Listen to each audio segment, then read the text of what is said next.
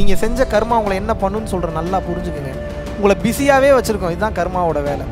மனசை நிறுத்தி பழகணும். அப்போ என்ன பண்ணணும்? நிறுத்தணும். மனசை நிறுத்தலைன்னா பிஸியாக ஓடிக்கிட்டே இருப்பீங்க. இறைவன் பாவம் பெரும் கருணை கொண்டு தூக்கம்ன்ற ஒன்றை கொடுத்தான். சும்மா நான்வெஜ்ஜை விட்டுன்ற பில்டப் கூட்டிங்கன்னா உடம்பு போயிருப்பே சொல்லிட்டு ஒமேகா த்ரீ நியூட்ரல் பண்ணணும். ஒரு நாள் ஃபுல்லாக சாப்பிடாம இருந்தீங்கன்னா மொத்த டைஜஷன் சிஸ்டம் மொத்த உயிர் சக்தி என்ன ஆகுனா ஹீலிங் எனர்ஜியாக மாறும். இந்திரிய ஒழுக்கம்னா என்ன? விந்து கட்டுப்பாடு. விந்து கட்டுப்பாடுனா குடும்பத்துக்கு பயன்படுத்தவே கூடாதாங்கன்னு கேட்டால் அப்படி கிடையாது. அளவாக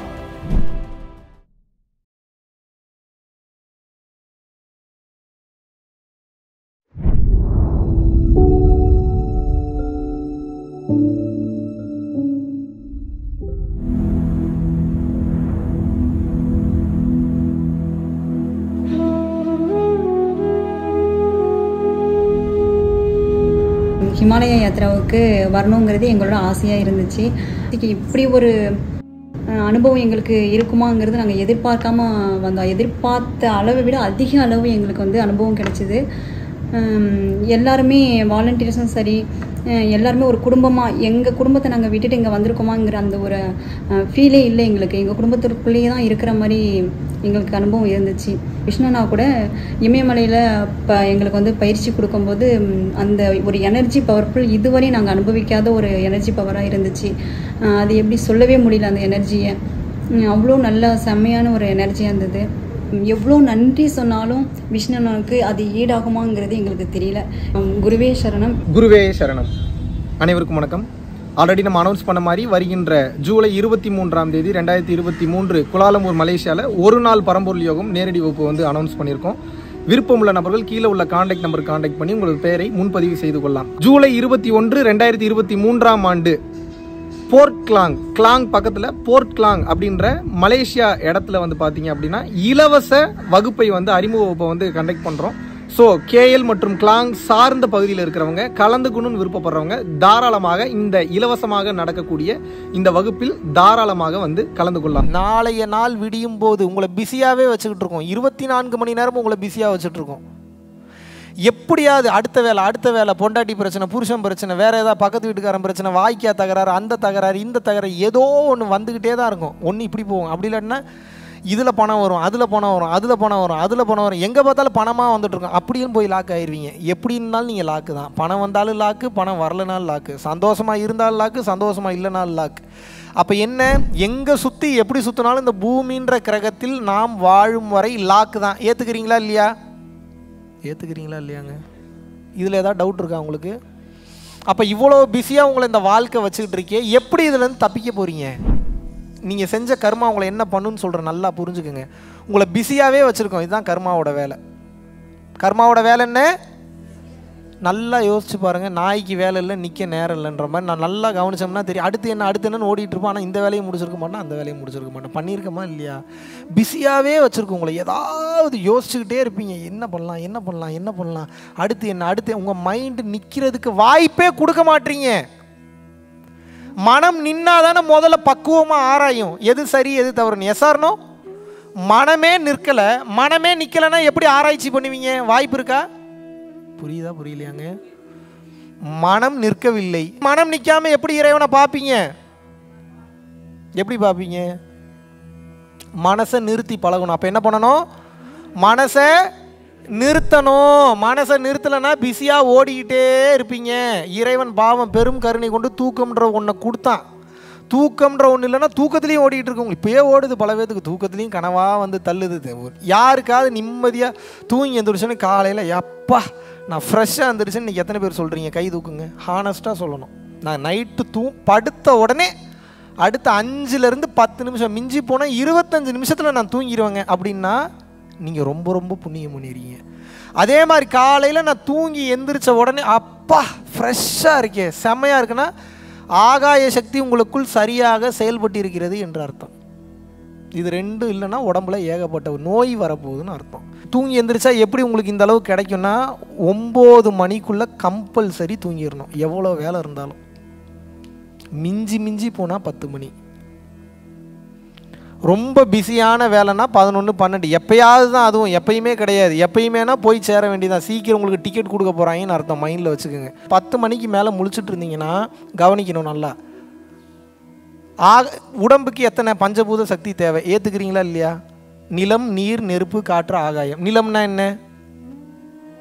உணவு சாப்பாடு நிலத்தில் விளையக்கூடிய சாப்பாடு. அதையே முதல்ல சரியாக சாப்பிட்றல சரி அதை கூட ஏற்றுப்போம் எப்படியாவது கொஞ்சம் நெஞ்சம் ஏற்றுக்கிறீங்க நான்வெஜ்ஜெல்லாம் விட்டுட்டிங்கன்னா வெஜ்ஜில் புரோட்டீன் சாப்பாடு அதிகமாக நியூட்ரல் பண்ணும் புரோட்டீன் பவுடர் இல்லை. ப்ரோட்டீன் எதில் இருக்கோ அதை நியூட்ரல் பண்ணும் ப்ரக்கோலியோ சுண்டலோ இல்லை வந்து பன்னீரோ யோகர்ட் அந்த மாதிரி. புரோட்டீன் இருக்கக்கூடிய அதிகமான பொருட்களை சாப்பிடணும் வெஜ்ஜில் சும்மா நான்வெஜ்ஜை விட்டுன்ற பில்டப் கூட்டிங்கன்னா உடம்பு போயிடும் இப்பயே சொல்லிட்டேன். ஒமேகா த்ரீ நியூட்ரல் பண்ணணும். நீங்கள் நம்ம நியூட்ரல் பண்ணுறோமா நியூட்ரல் பண்ணணும். நான்வெஜ்ஜை விட்டுறது மேட்ரு இல்லை. கம்பல்சரி வெஜ்ஜில் நியூட்ரல் பண்ணணும். அடுத்து நிலம் வந்துருச்சு. நீர். நீர்னா என்ன? நாம் குடிக்கிறது it's not pure water it is called clean water there is much difference between pure water and clean water சுத்தமான நீருக்கும் தூய்மையாக வெண்மையாக இருக்கிற நீருக்கும் நிறைய டிஃப்ரெண்ட் இருக்குது அதில் மினரல்ஸ் கிடையாது. புரிஞ்சுக்கோங்க. இருந்தாலும் வேறு வழி இல்லை குடிக்கிறோம். சரி அதை கூட ஏற்றுக்கலாம் பைப்பு தண்ணியை கூட பிடிச்சி குடிச்சிடலாம் இதுலலாம் ஒன்றுமே கிடையாது. சரி அதை கூட குடிச்சிட்றோம் எப்படியாவது கிடச்சிருது.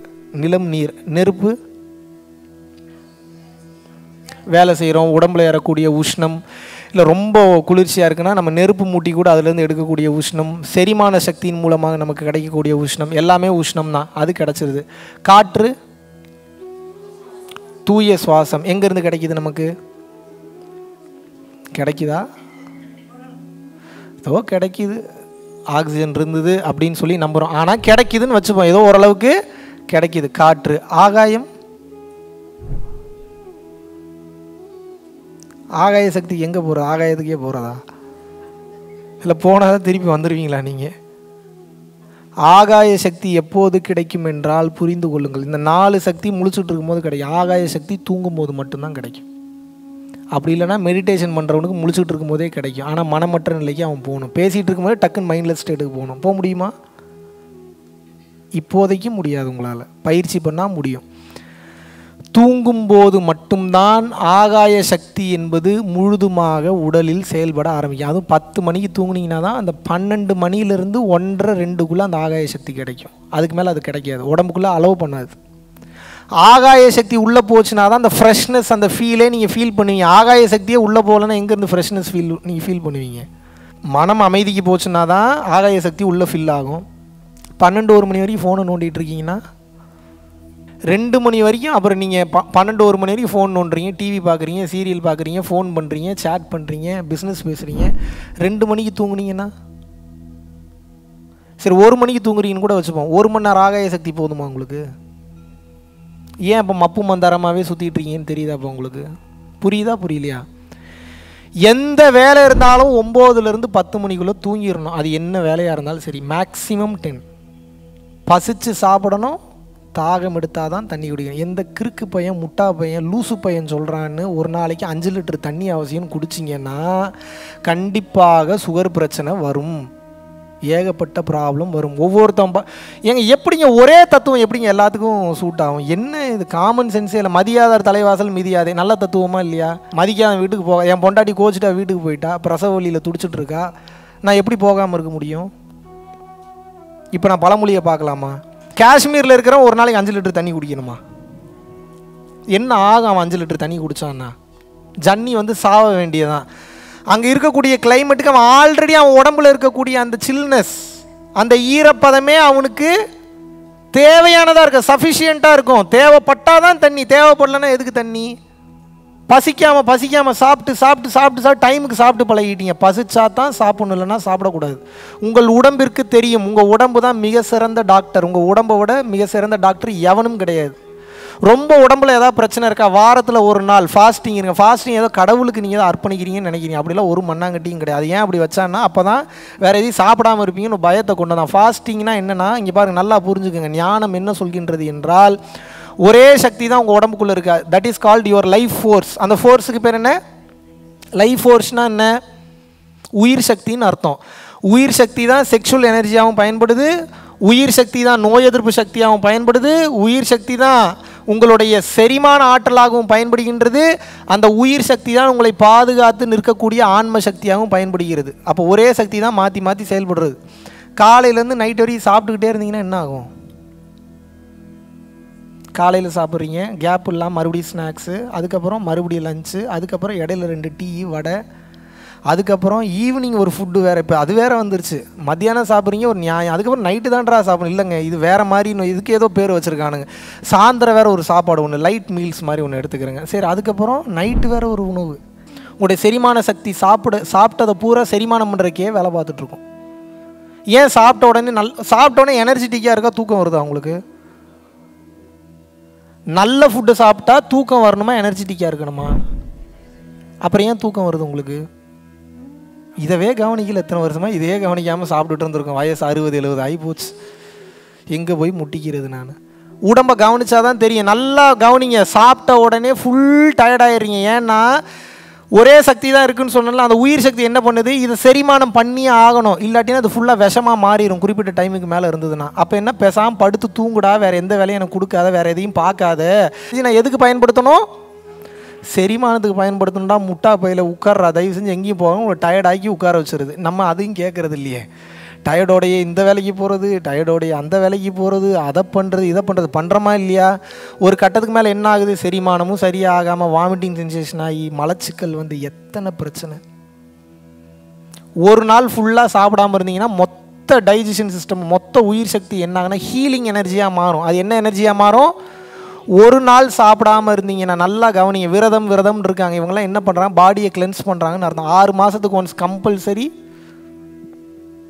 பேதி கிளப்பக்கூடிய டேப்லெட்டோ இல்லை இயற்கை முறையிலையோ ஏதாவது ஒன்றை எடுக்கணும். வயிற்றையும் குடலையும் கம்பல்சரி க்ளீன் பண்ணணும். இல்லாட்டினா முடிஞ்சு உங்கள் லைஃப் கம்பல்சரி எடுக்கணும். அதுபோக நிச்சயமாக சத்தியமாக மாதத்துக்கு ஒரு ரெண்டு டைமாவது ஒரு நாள் ஃபாஸ்டிங் இருக்கணும். ரெண்டு டைம் முடியலையா? ஒரு டைமாவது ஃபாஸ்டிங் இருக்கணும். இல்லை ஃபாஸ்டிங் இருக்க முடியலையா? பசிச்சு சாப்பிட்ற பழக்கமாவது இருக்கணும். எப்போ பார்த்தாலும் இருபத்தி நாலு மணி நேரம் சாப்பிட்டுக்கிட்டே இருந்தீங்கன்னா என்ன ஆகும்? இந்த எனர்ஜி தான் ஞானத்துக்கும் பயன்படும். நான் சொல்கிறது புரியுதா? இந்த எனர்ஜி தான் ஞானத்துக்கும் பயன்படுது. சாப்பிட்டுக்கிட்டே இருந்தால் எங்கே ஞானத்து பக்கம் திரும்பும்? So discipline discipline is the fundamental matter of attaining the wisdom எந்த டிசிப்ளின் எல்லா டிசிப்ளினும் இதை இதை வந்து வள்ளலார் ரொம்ப சூப்பராக சொல்லிட்டார். ஜீவ ஒழுக்கம் கரண ஒழுக்கம் இந்திரிய ஒழுக்கம்னு முடிச்சிட்டார். ஜீவ ஒழுக்கம்னா என்ன? ஜீவன்கள் மீது எல்லா ஜீவன்கள் மீது நாம் வைக்கக்கூடிய அந்த கருணை இருக்குது பார்த்தீங்களா ஜீவ ஒழுக்கம். நம்ம ஜீவனையும் சேர்த்து தான் சொல்கிறார் கரண ஒழுக்கம். கருணையோடு எல்லார் மேலேயும் இருக்கிறது. காயப்படுத்தாமல் இருக்கிறது. காயப்படுத்தாமல் நடக்கிறது. கரண ஒழுக்கம். இந்திரிய ஒழுக்கம்னா என்ன? விந்து கட்டுப்பாடு. விந்து கட்டுப்பாடுனா குடும்பத்துக்கு பயன்படுத்தவே கூடாதாங்கன்னு கேட்டால் அப்படி கிடையாது. அளவாக தேவைப்படுற நேரத்தில் மட்டும். அவசியமான நேரத்தில் மட்டும். புரிஞ்சுதா? விந்து விட்டவன் நொந்து கேட்டான். ஆண்களுக்கு விந்துன்னு வச்சுக்கோங்க பெண்களுக்கு ஸ்ரோனிதம்னு வச்சுங்க ஸ்ரோனிதம் அல்லது உங்களுக்கு பிடிச்ச மாதிரி நாதம் எப்படி வேணாலும் சொல்லுவாங்க. ரெண்டு பேருக்கும் ஒன்று தான் ரெண்டு பேருக்கு இருக்கிற லைஃப் ஃபோர்ஸ் தான். அதிகமாக குடும்பத்தில் விரயம் செய்தீர்கள் என்றால் நீங்கள் ஞான நிலையை அடைய முடியாது.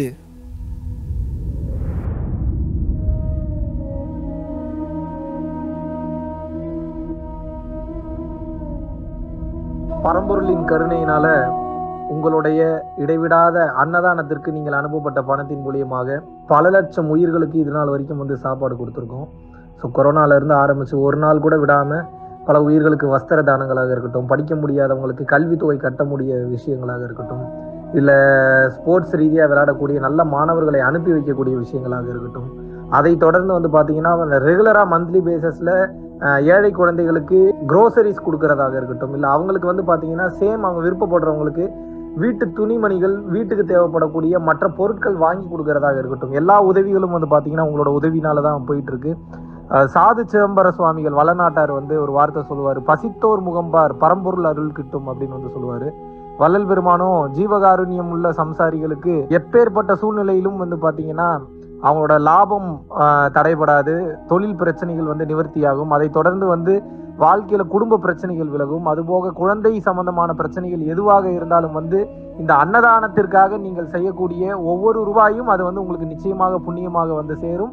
புண்ணியத்தை கடந்த நிலையில் முக்தி பாதைக்கும் அது நிச்சயமாக உங்களை வழிநடத்தும் அதனால விருப்பப்படுறவங்க நம்மளுடைய பரம்பொருள் அறக்கட்டளினுடைய சேரிட்டி ஆக்டிவிட்டீஸ்க்கு தங்களுடைய விருப்பப்படக்கூடிய நன்கொடையை கீழே உள்ள டெஸ்கிரிப்ஷனில் இருக்கக்கூடிய அக்கௌண்ட் நம்பருக்கு செலுத்தலாம். இதற்குண்டான அந்த அருளை சித்தர்கள் உங்களுக்கும் உங்கள் குடும்பத்தாருக்கும் வழங்க வேண்டுகிறேன். குருவின் பரிபூர்ண அருளாசிகள் குரு கடாட்சம்